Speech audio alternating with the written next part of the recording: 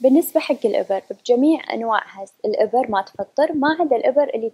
تحتوي على مغذي، فعندنا الإبر اللي تحت الجلد اللي هي إبر السكر آه، يقدر الصايم ياخذها، الإبر اللي في العضل واللي في الوريد مثل المضادات الحيوية والحديد، وكذلك إبر